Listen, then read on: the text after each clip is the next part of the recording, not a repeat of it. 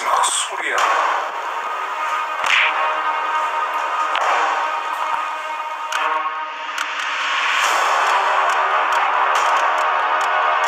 네, 안녕하세요. 배우 남궁입니다. 어, 아, 드디어 저희 닥터 프리즈너가 이렇게 마감을 했는데 나이지를 떠나보내야 된다는 생각이 조금 서운하기도 하고 한편으로 어, 이 힘든 촬영이 끝나서 좀 시원하기도 하고